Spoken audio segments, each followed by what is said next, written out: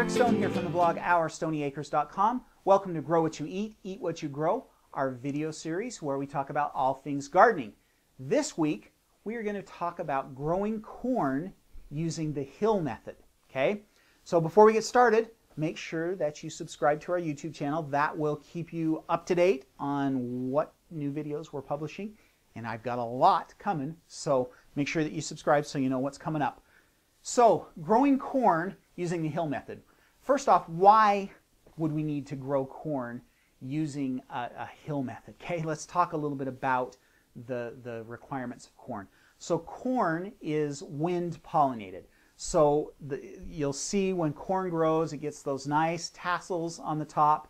That's the pollen. And then the little silk, we call it the silk, that, that's on the end of the ear of the corn that you have to clean off. That's such a pain in the neck. Okay, that's the actual female part of the corn plant. And the pollen comes down and gets on the silk, and then the pollen goes down into the kernels and, uh, and, and, and pollinates those kernels. Now, if you've ever seen an ear of corn that has lots of empty spots and funky and you know what I'm talking about, kind of chunky and, and, and not consistent.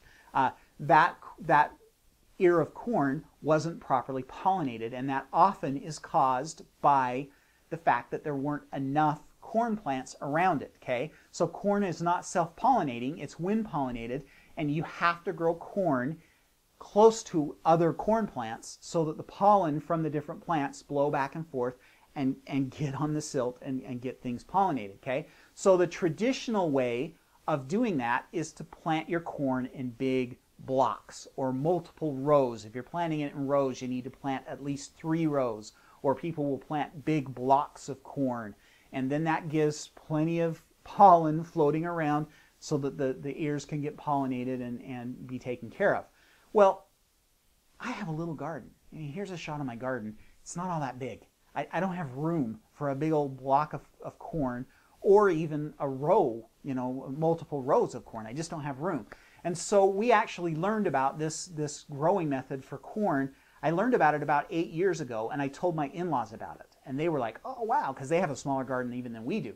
We're going to try that. And so they tried it. And so for a couple of years, they were the ones that were doing the experiment. And, and the way you plant corn in hills is you just, you know, you just, it, it, the hill is not really a hill. It doesn't have to be. I, I actually make it a hill because I want it to kind of be separate and so I remember where it's at.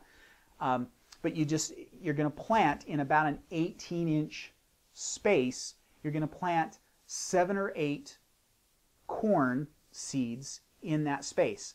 And then you can plant these little hills all over your garden anywhere you, where you've got some space.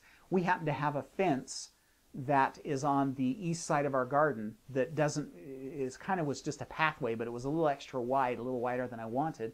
And so we've kind of created these beds along there Eventually, we've got some kiwi growing there and a few other berries and stuff. That'll fill in and we won't be able to use that anymore. But we, you know, we can stick those corn hills anywhere, just here and there around the garden. And if you have seven or eight seeds and they all come up close together and a minimum of five uh, come up, then they're all there in this little block and they pollinate each other and they just do great.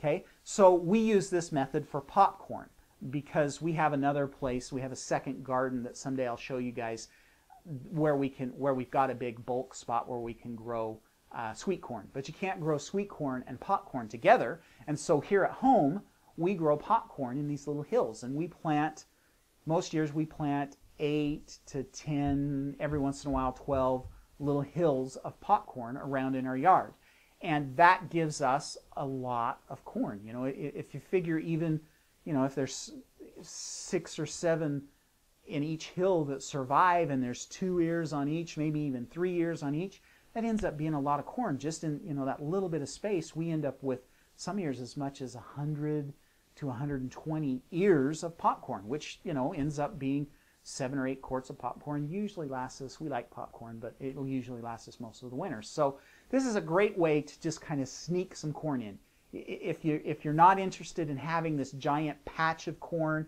where you're going to end up having you know eight like 200 ears of corn uh, you just want to have a taste. You know, you want to have some corn to barbecue or you know something like that, and in the middle of the summer, this is just a perfect way to do it. You can tuck three or four uh, different hills of corn in your garden, just in corners or outside spots, or a spot where your tomato plant died, or you know whatever.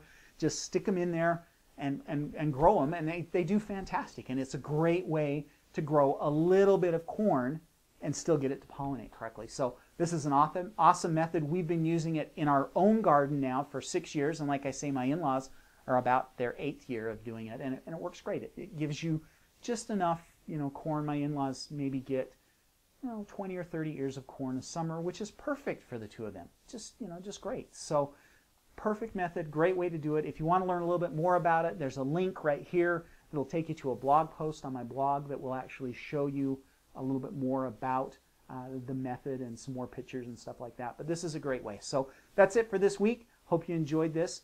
We will have more courses coming up, so make sure that you subscribe to our YouTube channel so that you get a notification when we have more videos come up. Also, if you would, please like uh, these videos and then comment down below. I'd love to have you comment.